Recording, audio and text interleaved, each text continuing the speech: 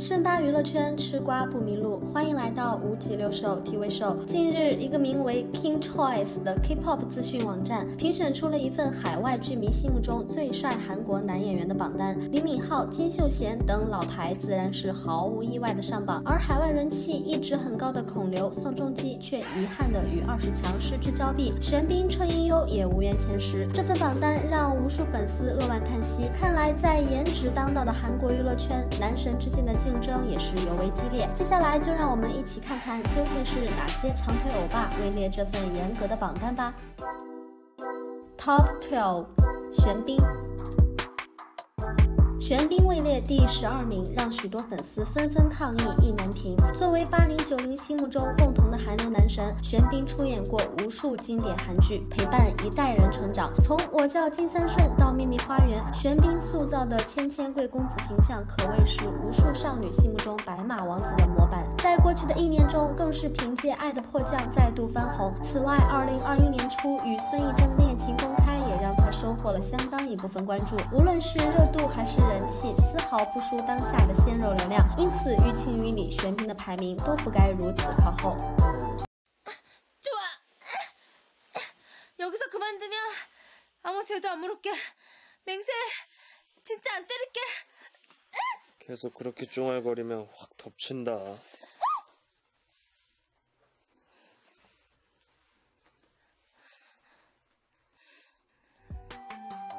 Top Eleven，车银优。有着“漫画脸美少年”之称的车银优，日前凭借大火的韩剧《女神降临》获得了一波热度，但仍旧没有在这个排名中取得高位成绩。除了海外审美的差异，也许更是因为作为一个新人演员，车银优的演技仍旧有待提高。毕竟，作为男团爱豆出身的车银优，在表演方面与其他榜单上的男神相较，还是存在差距和不足。但九七年的车银优只有二十四岁，前途不可限量。想必后续随着演技打磨和沉淀，车银优的演艺 之路定然会大放异彩。 사람이니 우정이니 그런 고민하면서 우리 사이에 무슨 일이 있건 선 넘지 마. 네가 상관할 일 아니야. 그러니까 상관 안 하게 애 심란하게 해서 나한테 연애 상담하게 하지 말라고 치고 들어가고 싶어지니까 뭔 개소리야. Top Ten，徐康俊。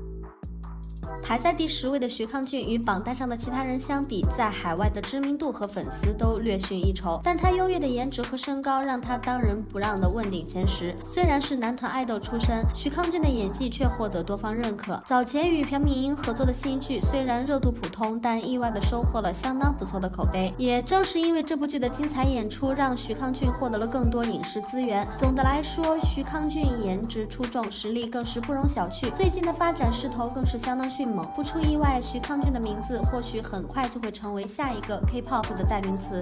您这这内是什么你们侄女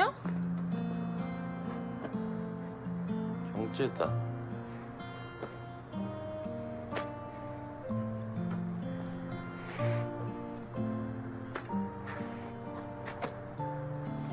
这样。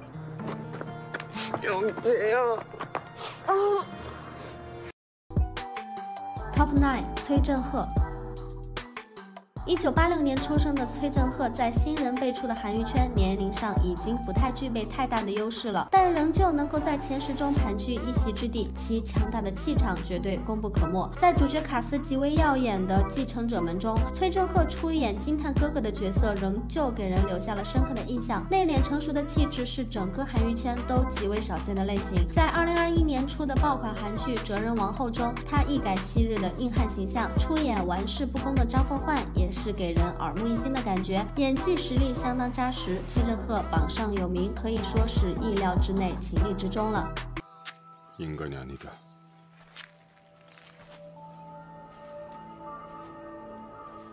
이렇게 사느니 차라리 죽는 게 낫다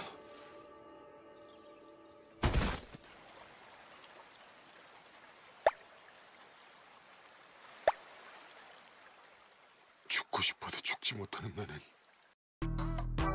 Top 8，朴叙俊。 朴叙俊算是一位大器晚成的艺人，二十五岁才走上了自己的人生巅峰。虽然对标竞争对手都是像李敏镐这样国民度极高的顶级一线演员，但朴叙俊在韩剧市场中仍旧有着不可替代的魅力，能够兼具性感和憨厚，并让这两种截然不同的属性浑然天成的男演员，放眼整个南韩娱乐圈，除了朴叙俊，恐无他人能够做到。因此，朴叙俊的资源一直非常不错，曝光度和热度都不缺。但对于粉丝来说，朴叙俊每年只有两到三部的作品输出速度，还是让人等的心焦。 똥만이는 똑당해. 에다가 똥만이테 치약 앙대 앙대 그는 거는 진짜 진짜 똑당해. 똑당해. 응? 응?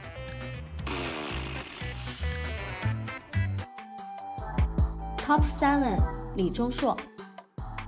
刚刚退伍归来的李钟硕，目前还没有新的作品问世，但仍旧可以成功上榜，并排在第七位，足以见得李钟硕在海外的人气不容小觑。从 W 两个世界到浪漫识别册附录，李钟硕韩系小奶狗的形象深入人心。而经过两年时间的沉淀，蓄起长发的李钟硕，整个人的气质都有了巨大的改变。然而，习惯了清爽利落形象示人的李钟硕粉丝表示，对李钟硕的新发型一时接受无能。而李钟硕昔日圈粉的一大利器，正是自己与生俱来的少年感。此次的长发造型，也许是为了转型而刻意为之，但与之相对的少年感也会因此减退。失去了长久以来加分项的李钟硕，或许也会趁此机会寻找自己形象上的新亮点。 뿌잉 뿌잉 나도 노트북 필요해 노트북 나 주라 어? 제발 뿌잉 뿌잉 왜? 아 뿌잉 뿌잉 나줘 어? 나줘 뿌잉 뿌잉 그래 엄마 너 가져 진짜? 진짜지? 아싸! Top Six，李胜基。 对于很多中国的韩剧粉丝来说，李胜基的作品《我的女友是九尾狐》《灿烂的遗产》都是能够引发一波回忆杀的经典作品。但在发展后期，由于造型上的问题，李胜基的事业也曾经经历过一段时间的低谷。好在自从李胜基退伍归来后，热度与资源都有所回升，尤其是与秀智合作《浪客行》之后，李胜基的人气更是迎来了巅峰。目前李胜基的在播新剧《Mouse》的反响也是相当不错，如果继续保持下去，想必李胜基的事业很快就能更上一层楼。 제천대서 지금은 좀 바쁜데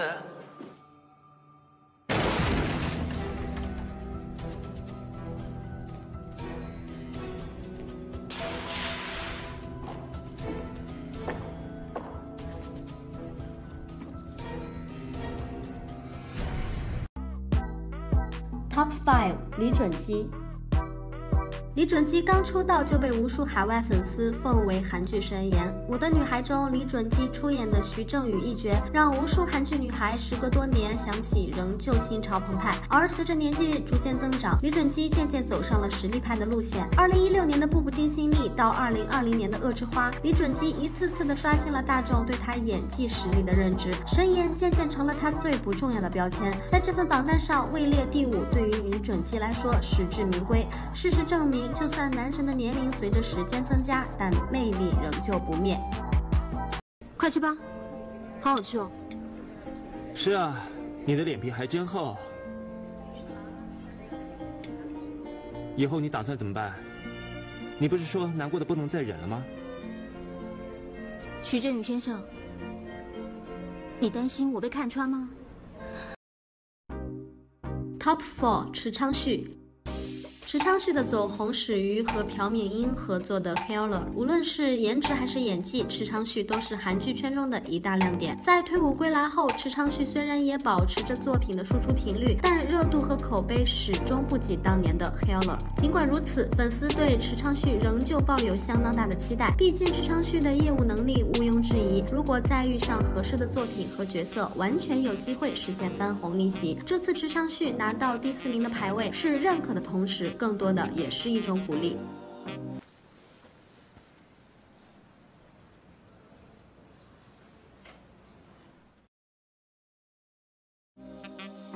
Top three，李敏镐。在所有八五后韩流男神中，李敏镐的江湖地位几乎无人可以撼动。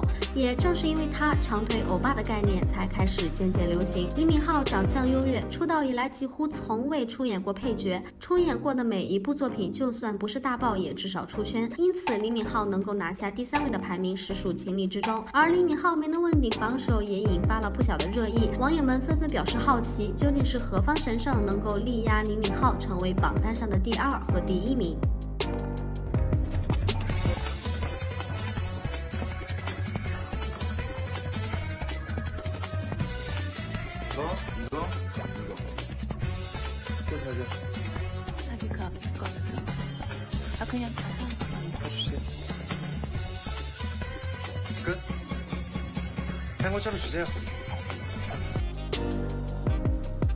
Top Two，金贤重。